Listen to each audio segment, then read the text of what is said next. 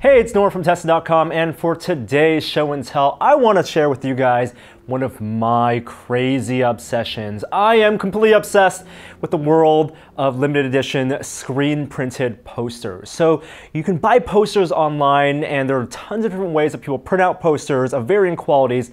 What I really like are screen printing posters, screen printed posters.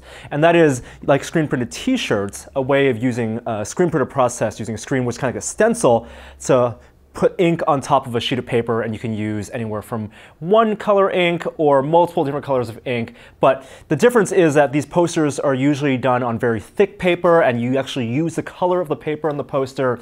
And the artist has to kind of choose very judiciously what colors he or she uses because they can't just use a multicolor regular inkjet laserjet printed process. And these posters typically last much longer than an inkjet or laser printed poster. So I actually acquired a couple posters recently a lot of people might know online there's a place called Mondo Tees. Uh, it's a poster shop based in Austin, and they do a lot of posters from really famous online artists like Olly Moss, Ken Taylor, and Tyler Stout. But those posters sell out really quickly, and it's really difficult to buy those posters. I have a couple of those, but I actually like finding new artists, and a lot of independent artists go to conventions and sell their posters there, or even online.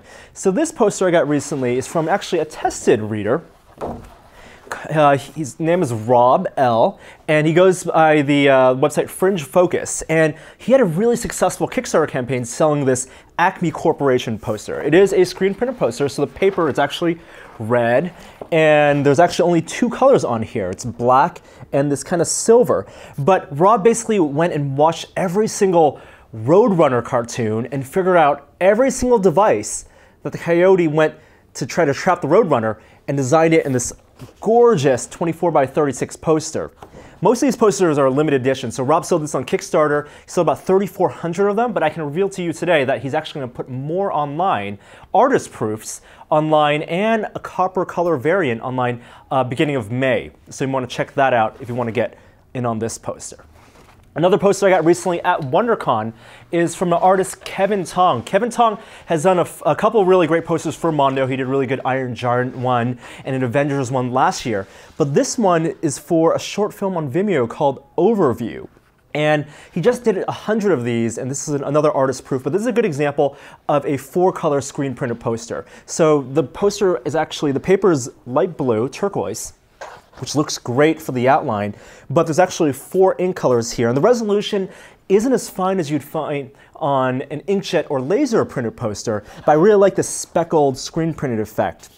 And it really makes this Earth look great. And this is, if you uh, follow the ISS and NASA, this is actually the cupola on the ISS, which is kind of like their observatory deck. It's where the astronauts sit in and take photos of Earth. I really, really love this poster. And actually, there might be some online still if you can get in on that.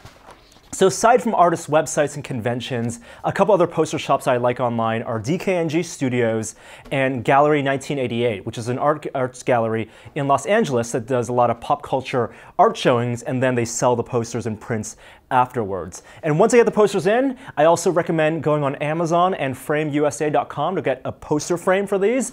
Uh, is actually the place where we got all the frames for the posters and prints and photo prints you see in back of us. And I would recommend for a 24 by 36 inch poster, paying no more than about $30 online for a good wooden frame. And for these posters, a plastic frame is good enough. You don't need glass. Uh, so that's my obsession with posters, screen printed posters. If you collect them yourself or have cool prints, post them in the comments below. I'm Norm from Tested, and we'll be back next week with another show and tell. See ya.